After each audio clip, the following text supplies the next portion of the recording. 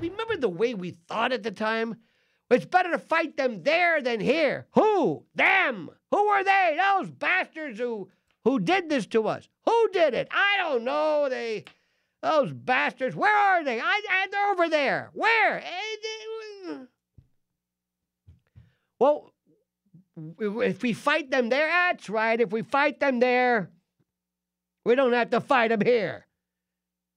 Yeah, but they're already here. What do you mean? Well, they're in Jersey City. They're all over the place. Yeah, but so you mean to tell me if we're in Tikrit, somehow Muhammad's going to get on the phone and say to his brother in uh, Bayonne, hey, listen, don't plan on blowing up the Lincoln Tunnel. Why? Because they're beating our ass over here in Tikrit. It made no sense. There hasn't been a 9 11 since 9 11. After all, Saddam Hussein invading Iraq worked because he was a despotic tyrant, and there hasn't been a 9 11 since 9 11.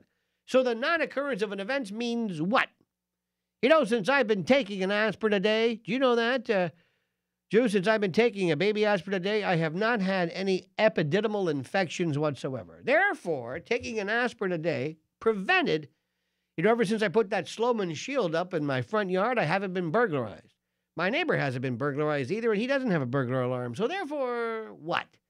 We were using logic that wasn't even logic. And look at us now. Look at us today. I mean, this is just an amazing thing. Look at us where we are today from that moment 9 11.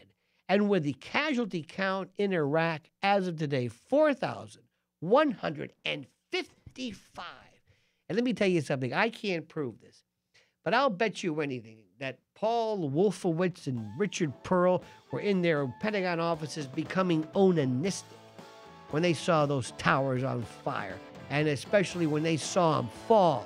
Not that they had anything to do with it, but this was the beginning of the implementation of the Neocon Manifesto. This is Project for a New American Century, the second Pearl Harbor. It was here and everything. Look what followed after that. That's the legacy of 9 11.